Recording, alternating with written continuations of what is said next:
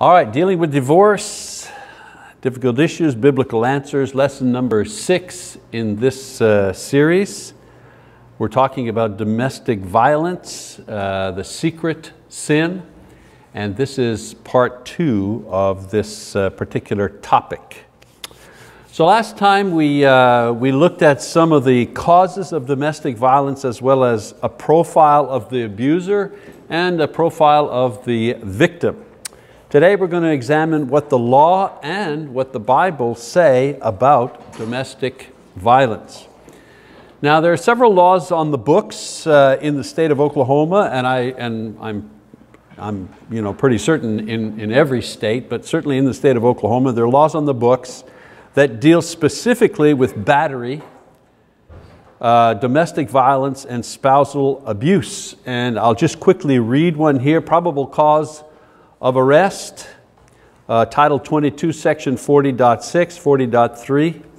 It says, a peace officer may arrest without warrant a person anywhere, including his place of residence, if the peace officer has probable cause to believe the person has within the preceding four hours committed an act of domestic abuse, although the assault did not take place in the presence of the peace officer.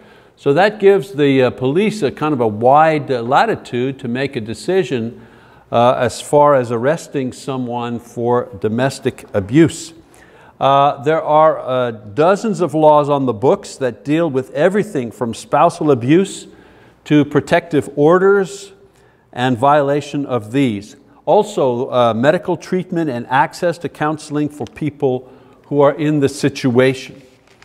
the courts will usually enforce these if there is a complaint filed, but this is where the problem lies.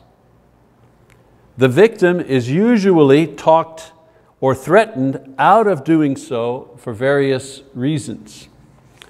Uh, the only sure thing about batterers is that they will repeat their actions unless there's an intervention. I repeat that. The only sure thing that we know is that if there isn't an intervention, they continue with this behavior. Despite all the apologies and all the promises, it just keeps right on going. Uh, the greatest uh, um, uh, defense for the batterer is secrecy. Let's keep it secret. Uh, many times a first offense is reported, it's recorded, it's dealt with through counseling and probation. So when you get it out into the open and deal with it right away, it lessens the chance of the cycle repeating itself. That's the message that uh, counselors and professionals that work in this area try to get across to uh, victims. Get it out in the open, deal with it. If left alone too long, there are all kinds of complications. I mean, just children, dealing with the children. Uh, and the success rate for counseling goes down because of a deeply ingrained cycle. So the longer it goes, the worse it gets, the harder it is to fix. So the key to breaking the cycle is to report the violence as soon as it starts and get it on the record. So what do counselors recommend? What can a, an, an individual expect from counselors if they go and report this problem? So if a person has been trapped in this cycle of domestic abuse for any length of time, counselors and women's shelters workers say that the key issue is safety. Safety.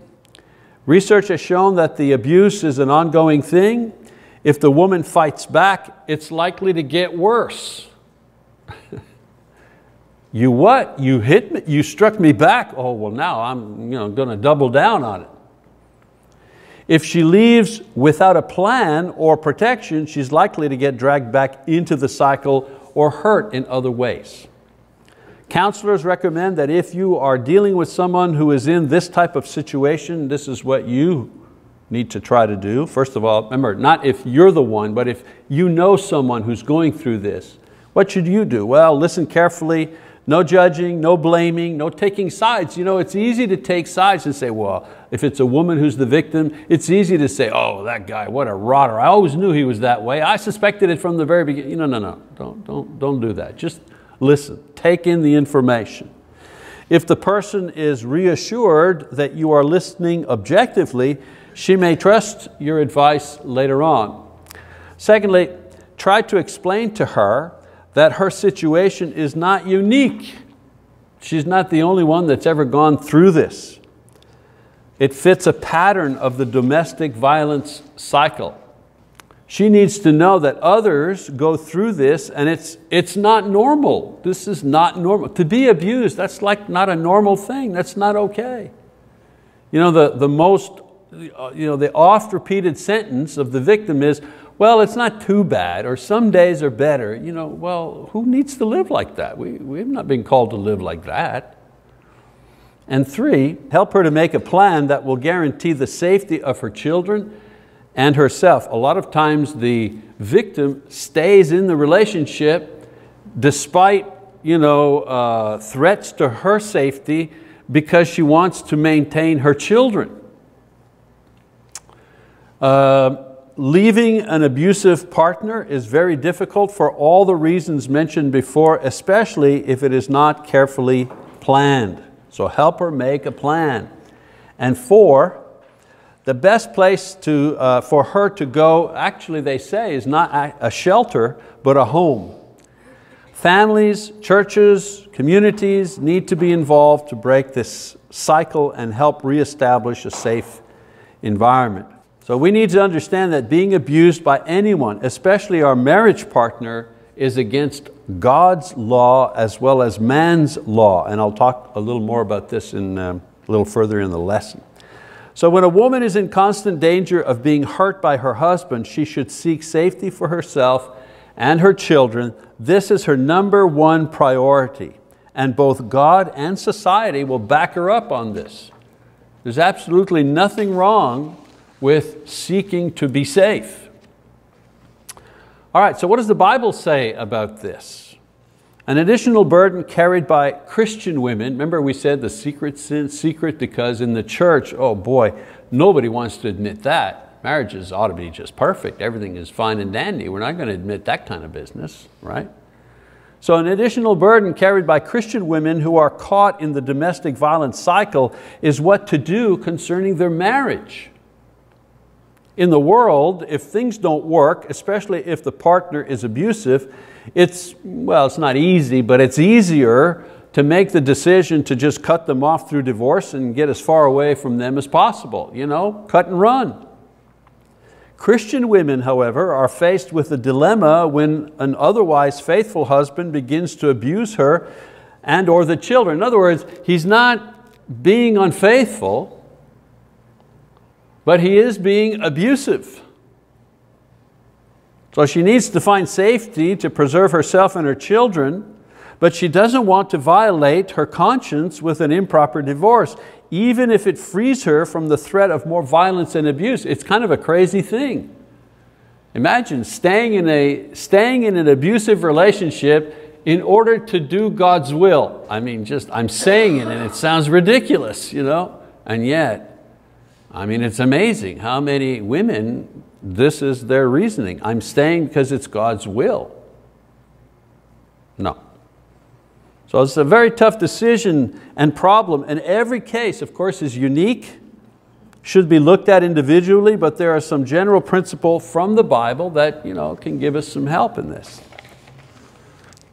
So first, first concept, okay? We deal with concept. It'd be nice you know, if you go through the Bible and say, you know, oh, chapter 29, domestic abuse. Chapter 32, dealing with, uh, you know, I don't know, uh, laziness. Chapter 41, you know, what to do with, it doesn't work like that. You, you have to look at the principles that are taught in the Bible and then use your knowledge and wisdom uh, you know, to apply those principles to your situation. So what are some of the principles? Well, don't be unequally yoked in the first place. 2 Corinthians 6.14. What does Paul say? Do not be bound together with unbelievers.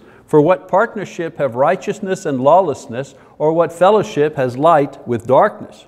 Paul speaks here of not uniting ourselves with pagans so as not to pollute our worship. Believe it or not. A lot of people immediately take this verse and apply it to marriage, but he's not talking about marriage in this particular passage. He's talking about worship. He's talking about religious association. So he says, you know, uh, you, you ought not to yoke yourself with pagans you know, because their uh, religious ideas are contrary to uh, Christian ideas. You know, you shouldn't be yoked with them. Now, when I carefully examine the marriages where there is abuse, I rarely, if ever, find a situation where a woman married a good and faithful Christian man and then he turned out to be an abuser. It happens, but it's, it, it doesn't happen that often. You usually see the signs long before the marriage. For example, he's not a Christian or he's a marginal Christian or he begins to verbally or emotionally abuse before you marry. And of course women you know, are thinking, well that's okay because I will change him. Yeah, right. The woman herself was not a Christian or she was weak in her faith at the time she got married. Or the couple engaged in sex before marriage, blinding out any chance for an objective evaluation of the other person before marriage. One of the psychological reasons why we should not engage in sex before marriage because um, uh, intimate contact before marriage blurs our vision of the individual, of knowing exactly who they are. Anyways, that's a whole other topic. If someone really loves the Lord, it will be obvious, and if they do so, they'll know how to love you. It's what I said to our own children. Marry someone who loves the Lord, and if they know how to love God, I mean, if they really know how to love God, then they'll know how to love you. When you marry a person who is not a Christian, you marry an unregenerated sinner, and there is no telling what they're going to become without Christ. So that's one principle. Uh, obviously, it's a preventative one. A lot of people, they're already married, so this is too late for them. But for those who are younger and not married, this is a good idea. Number two, loving yourself is the second greatest command. That's the part where we don't understand. You know, in Matthew 22 verses uh, 37, 39, Jesus said, and he said to him, you shall love the Lord your God with all your heart and with all your soul and with all your mind. This is the great and foremost commandment. Okay, that's the first. The second is like it, you shall love your neighbor, how? As yourself. So the greatest command is to love God with all of our being. We understand and practice this command by believing and obeying Jesus Christ. The second great command is to love ourselves, not to love our neighbors. We, we love ourselves first, and then we love our neighbors. We're to show love to our neighbors in the way we love ourselves, not vice versa. First, we learn to love ourselves, and then we can extend that love to our neighbors. It doesn't work the other way around. Because if you cannot love yourself, right, well, you can't love your neighbor. You have to be able to love yourself first before you're able to love your neighbor. Okay, so here's the point. One question I haven't dealt with much is why do women in these relationships allow themselves to be battered in the first place? Now you might be wondering, wait a minute, we, we've turned the corner here. One, one minute you're talking about you know, uh, love your neighbor as yourself, you got to learn to love yourself. And now we're talking about what, why are women you know, allowing themselves to be battered. The relationship is because they don't know how to love themselves. That's the relationship. And the question is, why do they allow themselves to be battered? Why do they stay in these things? Well, there are several possible answers, doesn't fit all the situations. First of all, they saw this in their own families and they feel comfortable or familiar with this kind of person. Like it's not a big shock to them if their husband pushes them all of a sudden, just because they've seen their dad push their mom around and it's like, oh well, I guess this is normal life. I guess that's what happens in marriage. Because if, if the woman's experience has been watching her father treat her mother with gentleness and love and kindness and, you know, and even when they had disputes or arguments, uh, there was no screaming, there was absolutely no physical you know, interaction. If that's what that woman has seen growing up and then all of a sudden she's married and her husband pushes her against the wall, she's shocked. She's never seen this. What, this is totally out of her you know, realm of experience. But if she's seen this growing up, well, oh, okay, this is kind of, I guess that's what happens in marriage. Another reason Ignorance, and I don't mean stupid, ignorance like not knowledge about these things, or weakness. Some women just don't know any better, or they're too weak emotionally or financially or socially to break out. Remember the thing about batterers that I told you? They're control freaks. They want to control everything and eventually they're controlling this woman so much that they manage to cut off all of her relationships. She can barely talk to her mother on the phone, friends, forget about friends. So the isolation breeds weakness. She has nobody to talk to, she has nobody to depend on. Another reason, they're addicted to the cycle. Very strange, addicted to the cycle. They like the excitement created by the highs and lows of the cycle. They don't like the, they don't like the violence part. But after the violence, there's all these apologies and I'm sorry and oh, you know, it's because I love you too much, you know, that's why I'm doing this, I'm sorry, you know, and uh, I'll tell you what, we're going to Bahamas next uh, week, we'll just take off and have a vacation and we'll go shopping and let's buy a new car, you know she likes the highs and lows. You know? She doesn't like that part, but she likes the apology and the honeymoon part and the quiet, we get back to normal part, and she likes that. I don't think the woman could actually write that down, but that's one of the reasons. It's like, well, this is my life, and you know, it's, sometimes it's bad, but sometimes it's really good, so she just stays. And then one uh, most common denominator, however, is that these women don't like themselves very much. Remember I said, love yourself, you know, love others as you love yourself, you know. They don't love themselves very much. Because a woman who really values herself will not allow herself to be slapped, kicked, punched, shoved, abused. She won't allow it. So why? Why this low self-esteem? Oh, a hundred reasons. Perhaps abused as children in some way. Perhaps divorce or problems in parents' marriages for which they take the blame. Mama was unhappy all of her married life and somehow that's my fault if I was a better child, if I would have been more obedient, if I could have been more helpful. I, I went off to college, I should have stayed, blah, blah, blah, blah, you know, come on, let's go. 100 reasons. Too much negative feedback or too little approval as children. I mean, there, there, like I say, there's a hundred reasons for low self-esteem, but, but women who have you know, very low self-esteem usually find themselves in these type of situations. And abusers, they have this antenna, like a divining rod, you know, to find water. They have this antenna. They know, they find these women somehow. Because they'll date a woman who has a very strong sense of self. She's been raised to stand up for herself and, you know, and she's been, you know, she's, she, you know, her parents did a good job with, with her. She likes herself. She respects herself. She won't let herself get pushed around. And she's dating this guy, and all of a sudden he says, ah, you're a B word, you know, something like that. That's the end. Sorry. You can't talk to me like that. I told you this before, our, our eldest daughter, Julia, used to have the, uh, the list, you know, you know, when she was in the Marine Corps. Guys would want to date her, to, why not? Nice blonde, blue-eyed Marine girl, you know?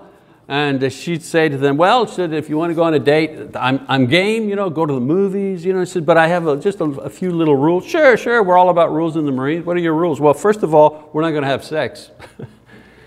you can bring me, do whatever you want, but under no circumstances are we going to be intimate in any way before we're married. Number two, uh, you're not going to, you're not going to ply me with alcohol or drugs. You're not going to do that. I'm not going to do that. It's not going to happen. Doesn't matter if we go to a party, blah, blah, blah. It's not going to happen. Number three, you will not lay a hand on me, ever, because I'm going to call my brother, and he's in the Marines too. that was her little speech. Now, I'm not saying we have to be that drastic, but Julia had a good sense of herself. She would not allow her, herself to be you know, pushed around. Unfortunately, not all women have this, have this type of strength. For whatever reasons, these women have esteem problems. And the first step to help them get out of this cycle of violence is to convince them that they are worthy of being loved and cared for properly. It's not a miracle to have a man love you properly. That's not a miracle, that's normal. What you're going through is abnormal. It's not God's will, it's not society's will either. In other words, if they love God and want to obey and please God, one of His commandments is to love yourself. And in practical terms, this means first, you don't have to live this way. You don't have to. Loving yourself means avoiding situations where you can be abused or injured for no reason. The Apostle Paul was ready to die for the gospel if he had no choice. But given the opportunity, he loved himself enough to escape those who wanted to kill him whenever, the Lord, whenever he had a chance. You know, they wanted to kill him in one city, and he managed to have himself lowered in a basket you know, over the wall to get, to get out of town in the middle of the night. Number two, you don't deserve this. God is our judge. He's the one that'll you know, do the punishing. The state also has a right to punish criminals. You break the law, the state has the God-given right to you know, try you and put you in jail. But nobody else has this right, including our spouses. Loving ourselves means that we will not allow anyone to abuse us for any reason. Abused women need to know that protecting themselves from harm is part of doing God's will. Because He loves us, then we should love ourselves too. We need to get out of this strange, weird thing that in staying in a relationship where we're being constantly abused or harmed somehow fulfills God's will. How we ever get there, I don't know. But that's not Jesus talking to you. That little voice that's saying, oh, you need to stay, take a few more smacks, that's not Jesus talking to you. That's the devil talking to you. Number three, understand that abusive partners are sinners. That's what they are. Ephesians 5, he says, so husbands ought also to love their own wives as their own bodies. He who loves his own wife loves himself. For no one ever hated his own flesh, but nourishes and cherishes it, just as Christ also does the church. Now the Bible doesn't say it in a negative way, you know, thou shalt not abuse your wife, it doesn't say that. It says it in a positive way. You know, Paul gives the positive command to husbands as to the treatment of their wives. They are to love them as they love their own bodies. Anything you do for yourself, you will do for her. Anything you wouldn't do to yourself, you would not do to her. Your goal is to love her as Christ loved the church. And this includes feeding and protecting and nurturing and yes, even sacrificing your life for her if this is what is required of you. Have you ever thought that every time she has a child, she is risking her life for you?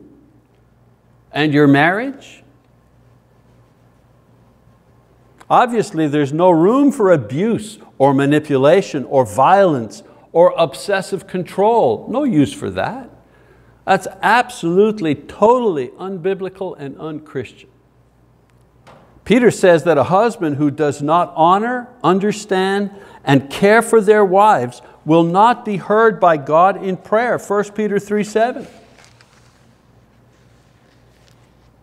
So God will judge everyone in the end, and husbands who have been guilty of outbursts of anger, violence, abuse, will not inherit the kingdom. You ever think about that? You know, we're always quick to say, you know, when Galatians, where Paul has said, you know, fornicators, adulterers, homosexuals, you know, the bad guys, you know, they, they won't go to heaven. And we're thinking, well, yeah, murderers and those people, they, they, they don't deserve to go to heaven. But he goes on, outbursts of anger, abuse, violence, you know, those guys don't go either. The bottom line in marriage is peace. People think the bottom line is happiness. I'm not very happy for whatever reason. So therefore, my, my divorce is you know, legit. But in the Bible, the bottom line is not happiness. Happiness you know, goes up and down. You know? If you're sick, you know, you're not very happy if you're sick. You know? if, you're, if you're doing good, making a lot of money, you are very happy. You know, happiness is a very subjective thing. So that's why the Bible doesn't say the bottom line is happiness. The bottom line is peace. 1 Corinthians 7, he says, but to the rest, Paul is talking now about marriage, he says, but to the rest I say, not the Lord, that if any brother has a wife who is an unbeliever and she consents to live with him, he must not divorce her. And a woman who has an unbelieving husband and he consents to live with her, she must not send her husband away. For the unbelieving husband is sanctified through his wife, and the unbelieving wife is sanctified through her believing husband. For otherwise your children are unclean, but now they are holy. Yet if the unbelieving one leaves, let him leave. The brother or the sister is not under bondage in such cases, but God has called us to peace. For how do you know, O wife, whether you will save your husband, or how do you know, O husband, whether you will save your wife? Best case scenario is that two Christians who are virgins get married, they establish a Christian home for life, and then they die and they go to heaven. That's the ideal. Wonderful, isn't it? Be nice if we could do that all the time. Some people do it, sure. Be nice if everybody could do it all the time. In the first century church at Corinth, not many could claim this ideal. So Paul gives instructions to guide the various marital combinations. So let's go back over them a little more slowly. In verses 25, 26, 27, 28, uh, he talks to singles. He says, now, concerning virgins, I have no command of the Lord, but I give an opinion as one who by the mercy of the Lord is trustworthy. I think then that this is good in view of the present distress, that it is good for a man to remain as he is. Are you bound to a wife? Do not seek to be released. Are you released from a wife? Do not seek a wife. But if you marry, you have not sinned. And if a virgin marries, she has not sinned. Yet such will have trouble in this life, and I am trying to spare you. So he's talking about various situations, various marital situations that are taking place in Corinth, and he's giving instruction in each case. So here he starts with singles, single people, for whatever reason. So he says to singles, it's better to remain that way, but if they marry, they don't sin. So if you're a virgin, when they, when, when they talk about a virgin in the Bible, they're, uh, they're referring to a, a, woman who's never been married. The assumption is if she's never been married, she's never had sex. So that's why they, all virgins are un, you know, single people.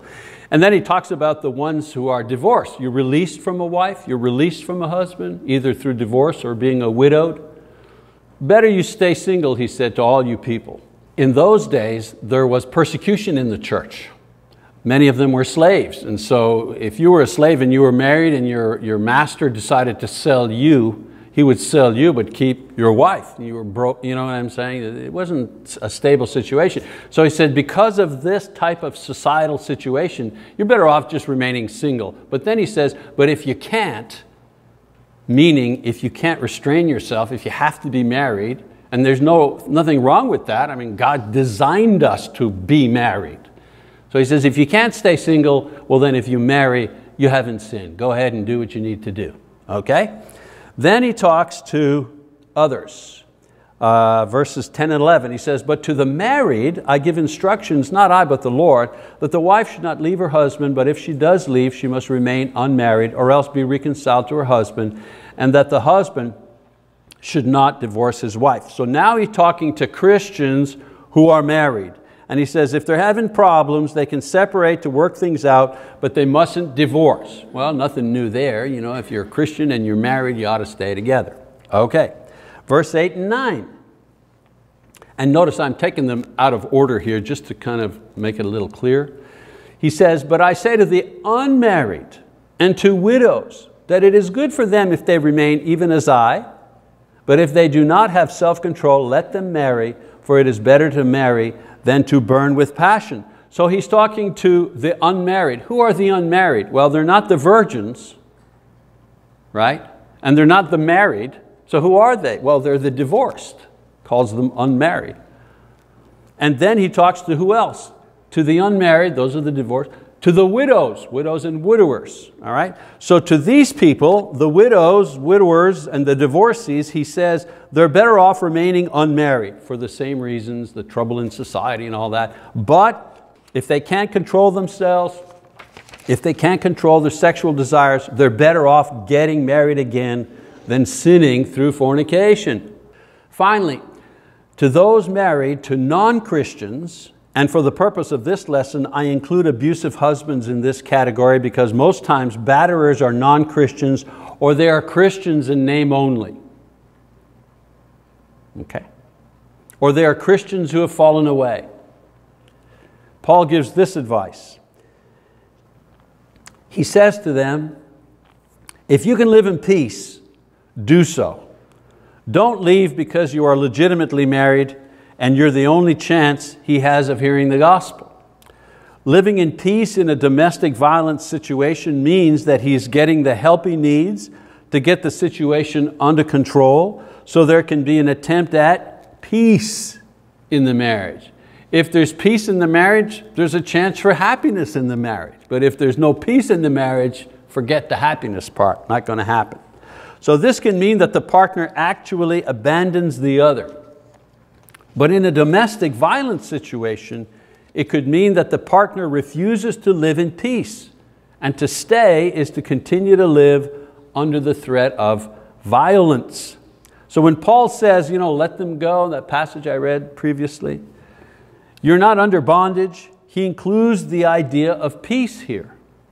If they won't stay with you, if they refuse to live with you in peace, you're not under bondage to remain, he says.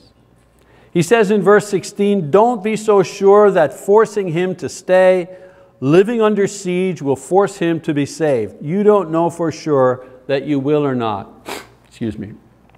A lot of women think if they just stick it out another year, he'll get better. If I just, you know, like it's up to me. If I stick it out, he'll get better. But He's not doing anything to get better. He's not getting any counseling. He's not trying. You're, you're not openly discussing the thing. You're just staying in the cycle. And usually what the woman is trying to do, she's trying to expand the cycle. That's her strategy. Instead of getting hit twice a year, she's going to try to expand the, the cycle to maybe just getting hit once a year. That's her way of dealing with it. Okay? So Paul is saying that if the unbeliever is willing to live in peace despite your differences, then you should stay because under the circumstances, you might have a chance to save his soul. On the other hand, if he refuses to live with you because your faith, uh, because of your faith, excuse me, or refuses to live in peace with you, then you're not bound to him anymore let him go. Or in the case of domestic violence, save yourself. Because hanging on in this kind of situation will not guarantee the salvation of his soul. You know this, I'll expand the, uh, the cycle, you know, I'll accept to get smacked just once a year instead, and maybe I'll save his soul. And Paul is saying here, yeah, that's not going to happen. If he rejects you or beats you, He's also rejecting and beating the spirit that is within you. There's the sin. There's the terrible sin. The person that you are committed to loving in the name of Christ, who has the Spirit in them and who is the weaker vessel, you know, weaker in the sense of physically, the weaker vessel, this person you're beating. This person you are abusing. There's the sin. There's the terrible sin. So Paul is saying, hey, in a case like that, save yourself. Now the big question, of course, is whether Paul is referring to divorce here or not in 1 Corinthians 7. There are a lot of arguments for and against. I believe that he refers to divorce for one reason in particular. Throughout this entire passage, he's been talking about marriage and divorce, when you can and when you can't. In this case, he simply says that you can. In other words, he says, you're not bound. Now the confusion has come because he doesn't use the word divorce, but rather the euphemism that means exactly the same thing, not bound. Well, not bound means not married.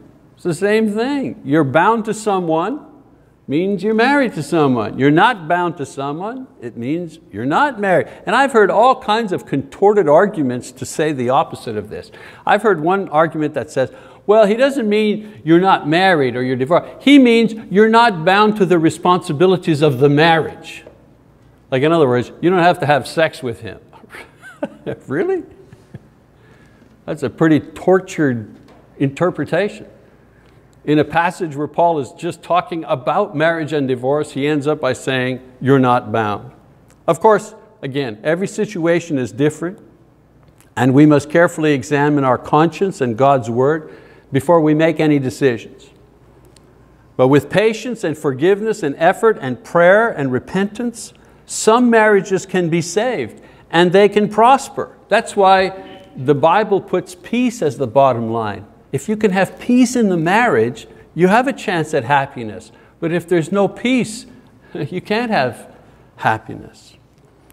So with patience and forgiveness, a marriage can be saved and prosper. Paul says that when everything fails, the believer does not have to be bound to one who rejects them by abandoning them, or I would add, by abusing them, which is exactly the same thing, except the punishment and the cruelty is physical as well as emotional. Brothers and sisters, God has called us to peace, not to abandonment, not to abuse, not to terror by our, by our spouse. Anyone who thinks they need to stay with someone who is abusing them because that's what God wants has misread the scriptures terribly. And they're being victimized twice. Once, once by their spouse, and the second time by self-righteous Christians who don't understand what, the, what God's word is actually saying. All right?